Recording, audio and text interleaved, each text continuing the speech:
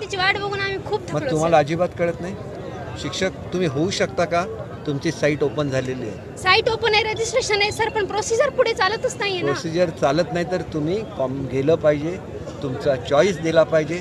एवढं सुद्धा जर जाहिरातच तुम्हाला नाही ना सर अजून. मग चॉईस आलेली आहे प्रत्येक रा जिल्ह्याला जाहिरात द्यायला सांगितलेली आहे. आणि तुम्ही म्हणता कधीपर्यंत जाहिरात आली नाही? हे बघा मी तुम्हाला सांगतो.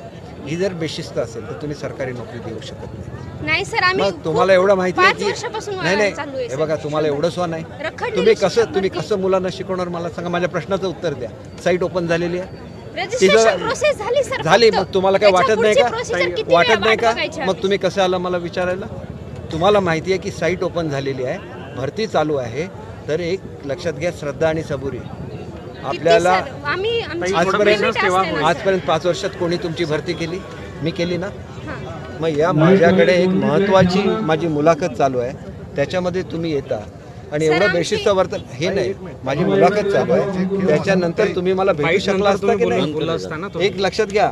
मी जेवढा प्रेमळ आहे तेवढाच मी कडक सुद्धा आहे. माझ्या दृष्टीने माझे विद्यार्थी महत्त्वाचे आहेत.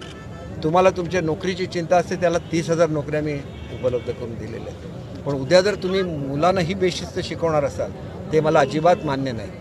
मला अजिबात मान्य नाही मी तुम्हाला स्पष्ट तुमच्या तोंडावर सांगतो. कारण मला शिस्तीने शिकवणारे शिक्षकच पाहिजेत. माझे अधिकार म्हणजे सर्वस्व विद्यार्थी म्हणजे काहीच नाही हे मला अजिबात मान्य नाही. माझ्या दृष्टीने महाराष्ट्राचा विद्यार्थी हा पुढचा येणारा महाराष्ट्राचं भवितव्य आहे. ते महाराष्ट्राचं भवितव्य हे त्या मुलांमध्ये आहेत आणि ती मुलं चांगली झाली तर माझा महाराष्ट्र घडणार आहे. याच्यावर माझा विश्वास आहे. त्याच्यामुळे याच्यापुढे याच्यामुळे अजिबात मध्ये बोलायचं नाही. अजिबात मध्ये बोलायचं नाही नाहीतर मी तुमचं नाव घेऊन तुम्हाला डिस्क्वालिफाय करायला लावेन.